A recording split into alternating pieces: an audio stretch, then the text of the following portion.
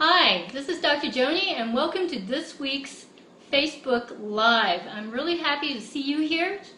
Uh, let your friends know that I'm back and in a few minutes uh, I'm going to be showing you how to make a fantastic, very easy to make brain fuel that's perfect for everybody. But first, I want to talk about a few things that are really important because fat, you really need fat in your diet. Okay? Um, over the last several decades, we've been told that fat is bad for you, especially saturated fats. And while too much of it is true, having none of it at all is just equally as bad too. When it comes to fat, we have to realize that we need fat in our body for a number of chemical processes. You know, some of it has to do with processing vitamin D, for instance. And uh, well, there's uh, plenty of deficiencies in that too today these days because of other misinformation. But you need fat in your brain because your brain is indeed mostly fat. A good 60% or more of your brain is fat. So you've got to replenish it. And you've got to do it really intelligently.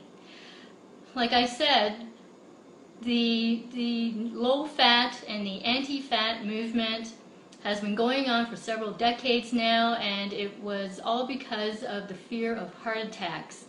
But did you know that actually 50% of heart attacks have nothing to do with clogged arteries? In fact, there's no sign of them.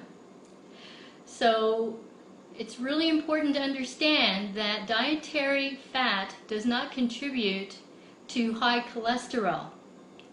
And cholesterol is not a bad thing for you either. Now, because of these low fat diets, it's been causing havoc, I think, with our brains too. Uh, I, you know, there is research around that's talking about Alzheimer's and the connection with low-fat diets.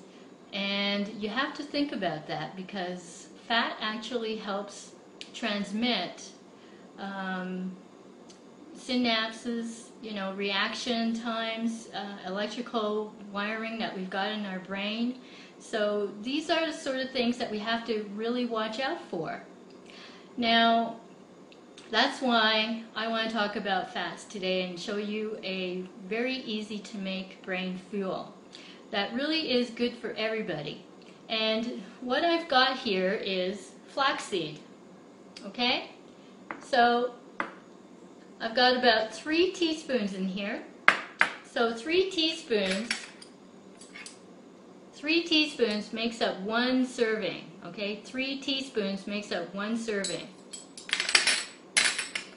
And when you grind it up, you get quite a bit more out of it. So you're going to get four tablespoons. You're going to get four tablespoons out of every three teaspoons of whole flax seed. It's pretty amazing. So again, three teaspoons of whole flaxseed. Take a look at that. Will give you four tablespoons of ground flaxseed. Now, this is the least expensive way of getting an extremely good fat. In fact, Mahatma Gandhi used to say that when people ate flaxseed, included in their diet, their health was very good. Because the thing is, is that it's not just good for the brain. It's also good for your skin, keeping it nice and soft and young looking and it's it's good for curbing appetite as well. It's got a lot of fiber in it. It's got amino acids in it. And the nice thing about flaxseed is that it's virtually insect proof naturally. So it doesn't need to be grown uh, organically. You can just buy it off the shelf. Now the thing is, too, is that with fine seed oils like this, you need to eat them fresh as fresh as possible. So, you know, the stuff that you see in grocery stores, if, if flaxseed oil, because it's so delicate and it's so um, and it's so sensitive towards sunlight, it's going to grow rancid very quickly. So if you're finding flaxseed oil that is being sold in bottles in grocery stores in clear bottles, it's probably rancid already. So you're wasting your time and your money buying it. The other thing is, is that it should also be refrigerated if it's in oil form already. Because if it's left outside, you know, to, to room temperature, again, it's very uh, sensitive to sunlight, then it's going to get rancid as well, even though it's sealed, okay? But, and of course, as soon as you unseal that cap, well, air gets into it and the oxidation process starts. So that's why I only eat whole flaxseed. And I've been doing this for, well, probably since 1994, long before I became a doctor of Chinese medicine.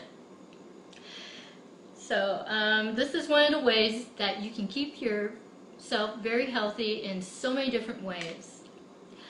Okay, so what I'm going to do is I've got this blender. It's my good old Osterizer commercial blender that I bought gosh, probably 30 years ago, and it's still going strong because it's all metal. And some of the good things that are, um, what you will do is that you will put this in here, okay?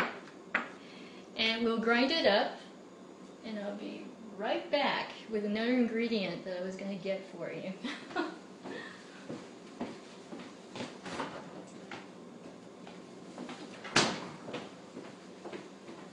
Sorry about that.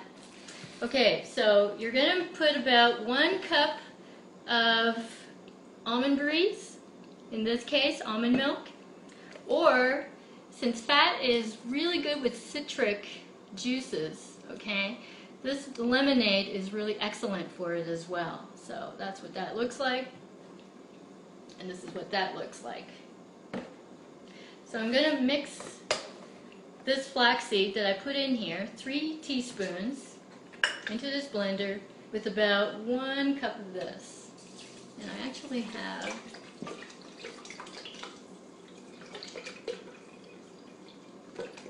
oh, looks like exactly one cup in here. I'm going to mix it up. Put on high.